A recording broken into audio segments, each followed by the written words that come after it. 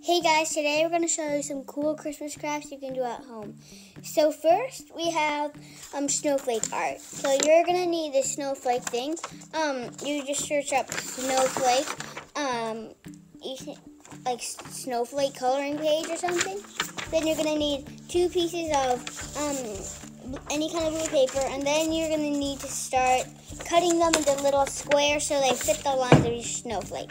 We're going to do this in a time lapse but we're going to show you how to do this fast. You might already know this way, but you like stack the paper and then you cut little strips and then you can cut squares or something. She's just getting something. Excess goes in here. Okay, so we're going to do this in a time lapse so it doesn't take so long.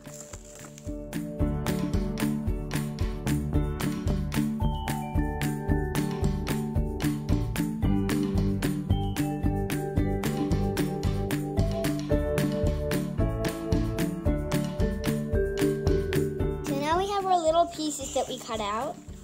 It goes way faster if you cut two at a time. Mm -hmm. So now you just want to start placing them on your snowflake, the lines that go, that they go in, like this. Yep. So it turns out pretty cool at the end. So if you just tape or glue them on, it's pretty cool. Yeah. Okay, we're gonna do a time lapse of this again, but we're just showing you what you can do.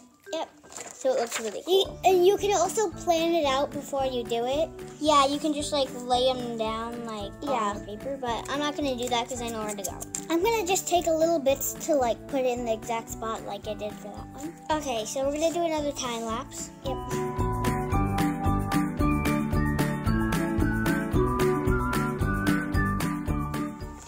Here's our final craft. I hope you like it. Stay tuned for our next Christmas art video. Bye.